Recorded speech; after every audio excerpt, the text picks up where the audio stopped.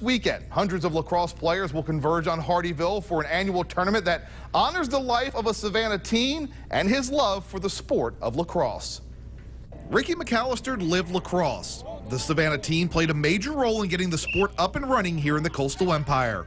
He was passionate about every sport, but, but coming to Savannah and not having lacrosse here, um, he just decided that he was going to he was going to take the bull by the horns. But one of the area's brightest lacrosse stars wouldn't get a chance to shine.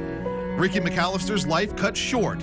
Ricky killed in a single car accident January 1st, 2010. He was just one of those kids that, you know, everybody kind of like you know, looked up to. You know, he was just the he was the most popular kid I knew. You know, everybody liked him. Nobody really had anything bad to say about him. Three years following his death, Ricky McAllaster's love for lacrosse lives on. This weekend, the third annual Ricky McAllaster Memorial Lacrosse Tournament will be held, with proceeds benefiting a program to promote teen driving safety and the continued promotion of the sport of lacrosse here in the Coastal Empire.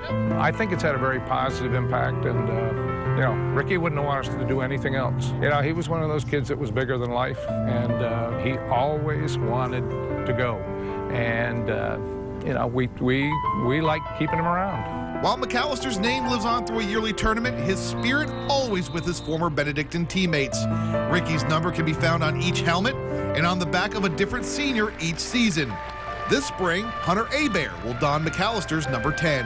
It's a lot of responsibility, but I'm also really excited because Wearing Ricky's number means a lot to me. I mean, we were friends since the first grade, best friends really, and uh, it just means a lot, and I think it's going to really be good to not keep it on a shelf and have the number and the jersey still on the field.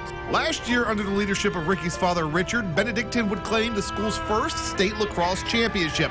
And the cadets can think of no better way to honor their fallen teammate and friend than winning it all once again in what would have been Ricky's senior season. Playing for Ricky, that's that's a big deal. He um you know, he played for as long as he could, and he was probably the best player to ever come out of Savannah. And, um, you know, everybody tries to follow in his footsteps. To play for a name like that, it's, it's truly special. Somebody told me if you had the choice of spending 15 years, you know, getting to know Ricky or not having known him at all, what would you take? And I took the 15.